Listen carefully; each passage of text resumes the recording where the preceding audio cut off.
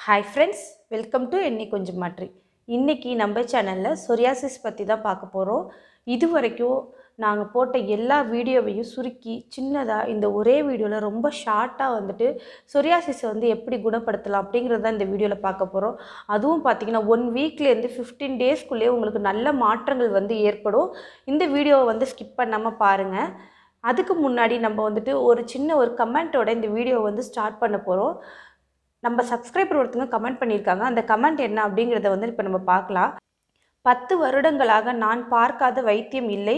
வெண் பூசணிக்காயும் கோவக்காயும் மஞ்சளும் இஞ்சியும் மிளகும் சீரகமும் உப்பும் செய்த மாயம் பல. தங்கள் இருவருக்கும் என்னுடைய நன்றி. இதுதான் வந்து நம்ம சப்ஸ்கிரைபர் பண்ண கமெண்ட் வந்து. இந்த மாதிரி நிறைய கமெண்ட்ஸ் வருது. ஆனால் வந்து எல்லாத்தையுமே நான் வந்து டிஸ்ப்ளே பண்ண முடியாது.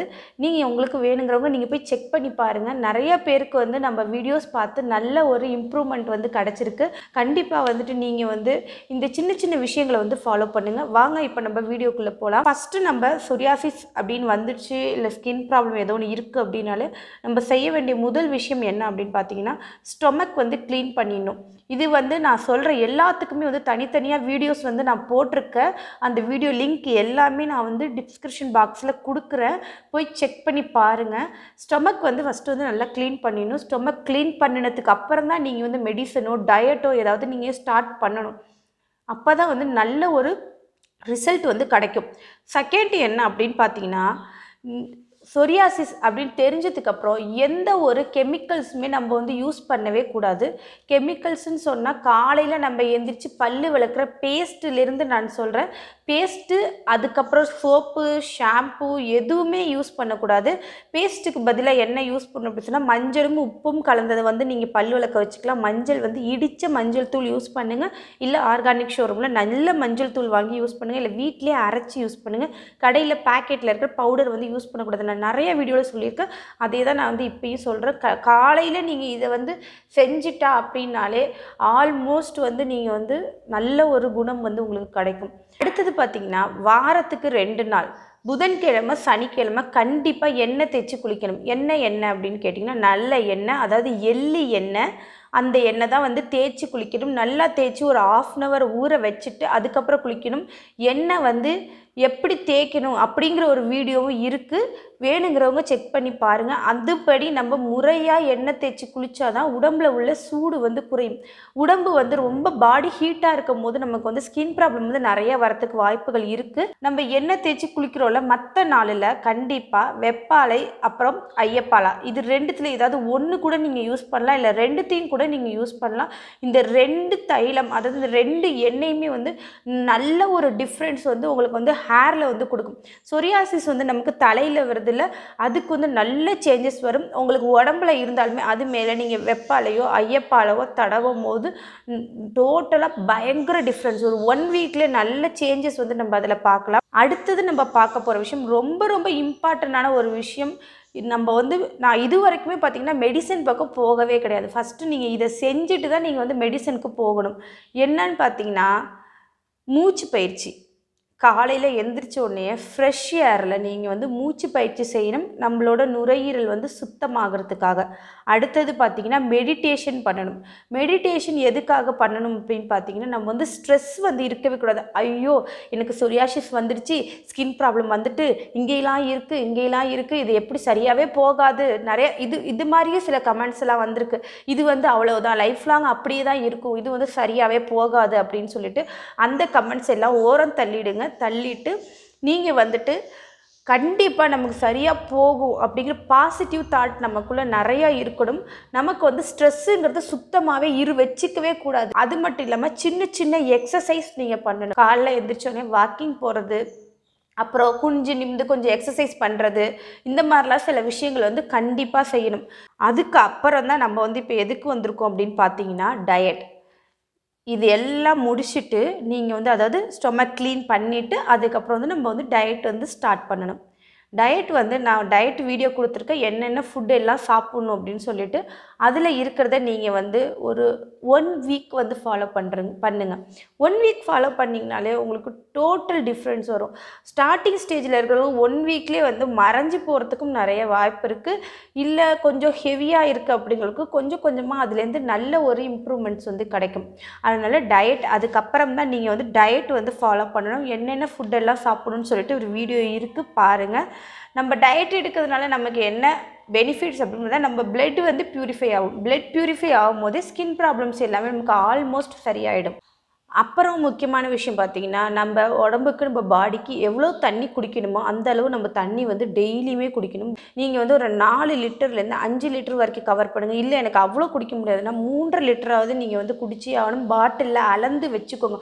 ஒரு நாலு பாட்டில் தண்ணி எடுத்து வச்சுட்டு இன்றைக்குள்ளே இந்த நாலு பாட்டில் தண்ணியை நான் ஃபினிஷ் பண்ணணும் அப்படின்னு சொல்லிட்டு நீங்கள் வந்து அதை ஃபாலோ பண்ணுங்கள் கண்டிப்பாக வந்து தண்ணி குடிங்க. அப்போ தான் இது எல்லாமே நமக்கு வந்து வேலை செய்யும். இவ்வளவையும் முடிச்சுட்டு இதுக்கப்புறம் தான் நம்ம வந்து மெடிசன்ஸ்க்கு போகிறோம் ட்ரீட்மெண்ட் அப்படின்னு பார்த்தா இப்போ சொன்னது எல்லாமே ட்ரீட்மெண்ட்டு தான். நாங்கள் வந்து என்ன ட்ரீட்மெண்ட் எடுத்தோம் அப்படிங்கிறது தான் நான் இப்போ வந்து ஷேர் பண்ணுறேன் நாங்கள் எடுத்தது வந்து பார்த்திங்கன்னா அதாவது எடுத்தது வந்து நிறைய ட்ரீட்மெண்ட் ஆனால் அதில் க்யூர் ஆனது அப்படின்னு பார்த்தீங்கன்னா வந்து ஆயுர்வேதாவில் தான் எங்களுக்கு வந்து க்யூர் ஆச்சு.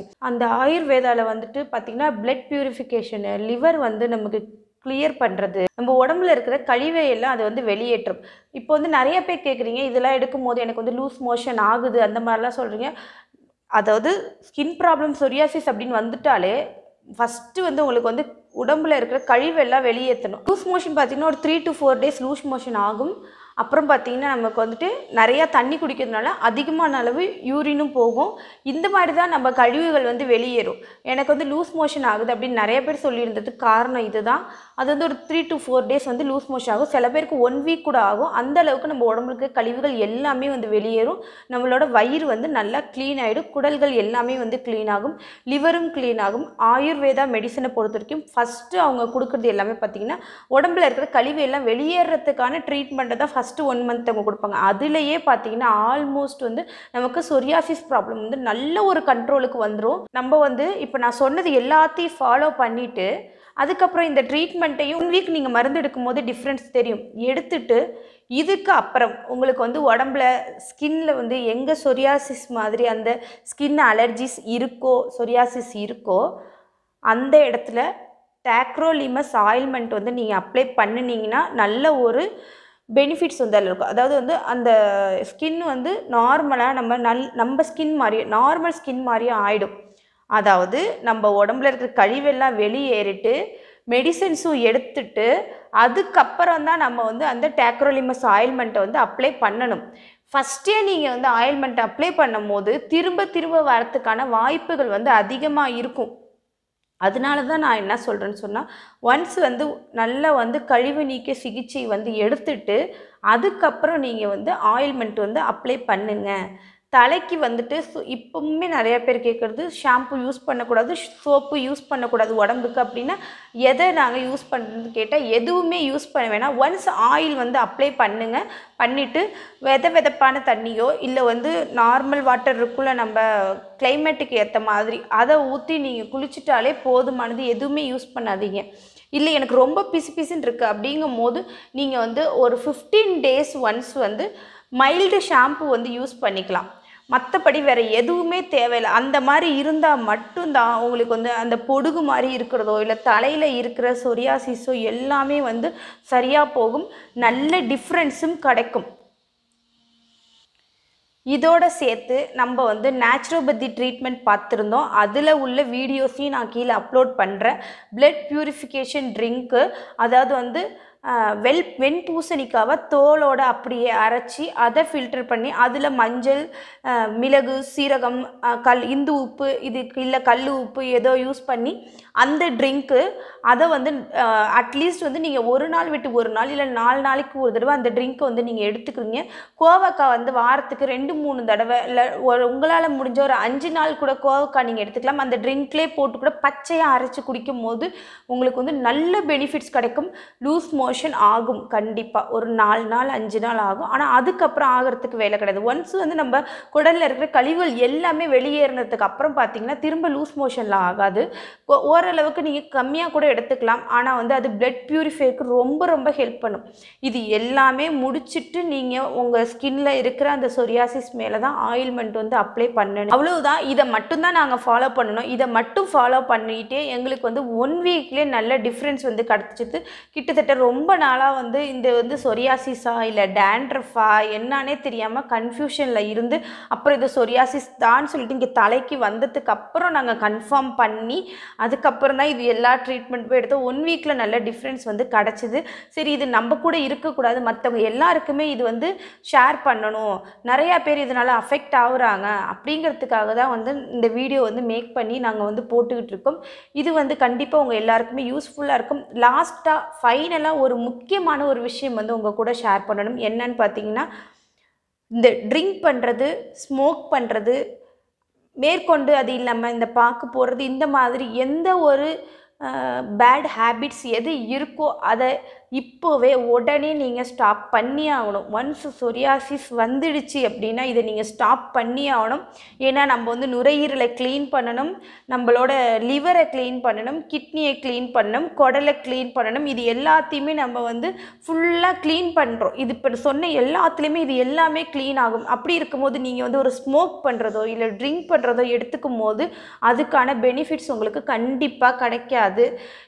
ஒரு பதினஞ்சு நாள் இருபது நாள் நீங்கள் வந்து ஸ்மோக் பண்ணுறதை நிறுத்தும் போது உங்கள் நுரையீரல் வந்து ரொம்ப நல்லா ஒரு ஃப்ரெஷ்ஷாக ஆகிடும் டக்குன்னு நீங்கள் போயிட்டு ஒரு ரெண்டு மாதம் கழிச்சு மூணு மாதம் கழிச்சு ஒரே ஒரு ஸ்மோக் தானே அப்படின்னு எடுக்கும் போது பழையபடி எப்படி இருந்துச்சோ உடனே அது வந்து அஃபெக்ட் ஆகிறதுக்கு நிறையா சான்சஸ் இருக்குது எவ்வளோ சீக்கிரம் முடியுமோ அவ்வளோ சீக்கிரம் இது எல்லாத்தையுமே நீங்கள் உடனே ஸ்டாப் பண்ணிவிடுங்க இது வரைக்கும் நாங்கள் போட்ட எல்லா வீடியோட ஷார்ட்டாக சுருக்கி நான் வந்து இந்த வீடியோவில் சொல்லியிருக்கேன். இதை மட்டும் நீங்கள் ஃபாலோ பண்ணுங்கள் கண்டிப்பாக நல்ல ஒரு மாற்றம் வந்து உங்களுக்கு ஏற்படும்.